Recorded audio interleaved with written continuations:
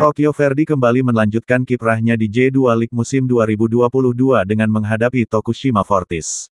Laga tersebut merupakan laga yang sempat ditunda, laga Tokyo Verdy kontra Tokushima Fortis digelar di markas Tokyo Verdy. Pada babak pertama, baik Tokyo Verdy ataupun Tokushima Fortis coba untuk saling membuka skor dengan saling silih berganti menyerang.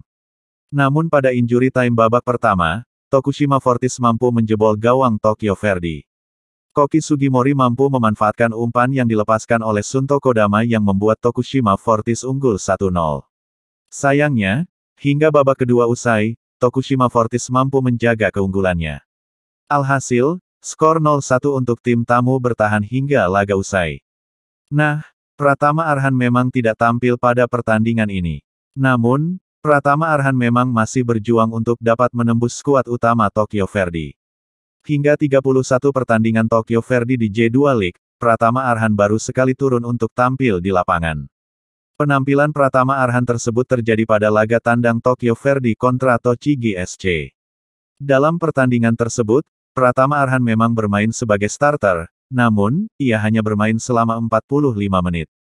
Sisanya, Pratama Arhan hanya turun dalam dua laga uji coba tertutup.